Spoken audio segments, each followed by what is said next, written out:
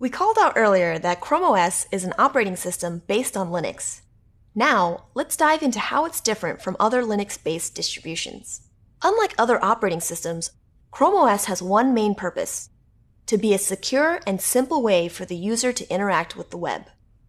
Not so long ago, the idea of having an operating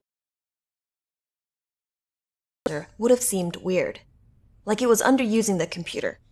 But today, you can do so much just through your web browser. You can communicate through email, create and share documents, edit photos, and even connect remotely to another computer. And the list continues to grow. The development of new web applications increases the number of things users can do all within the web browser. This means that for a lot of people, most of their daily computer use happens inside the browser. So having an operating system built around a web browser makes a lot of sense. That said, Chrome OS is more than just a web browsing operating system. It can also run Android and Linux applications inside containers. The user interface in Chrome OS is customized so you can only see the Chrome interface. Process management, memory, and input and output are still happening behind the scenes. But you don't need to deal with any of that you only need to deal with the browser.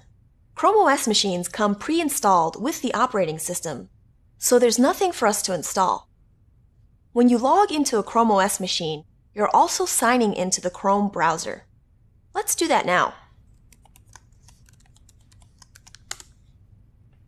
I've logged into my Chrome OS machine. It's pulling up my Chrome settings and extensions from the configuration stored in external servers provided by the Chrome infrastructure.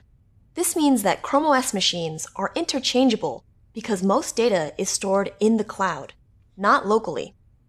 We'll learn more about the cloud in future lessons, but for now, think of the cloud as being somewhere else. Two other characteristics of Chrome OS are that it's extremely simple to use and very hard for users to meddle with.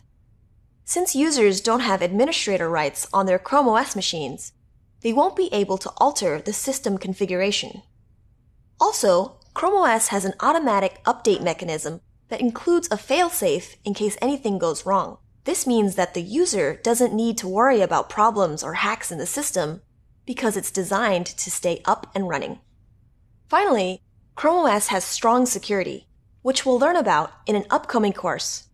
For now, you just need to know that Chrome OS allows users to browse the web without worrying about malware and to share machines while keeping their data private. It also ensures that data won't be compromised if the machine is stolen.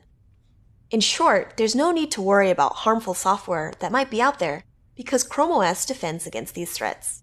As an IT support specialist, you may find that some of the users in your organization will choose Chrome OS for their daily work. Since it's so easy to use and rarely breaks, we won't cover daily support in further detail.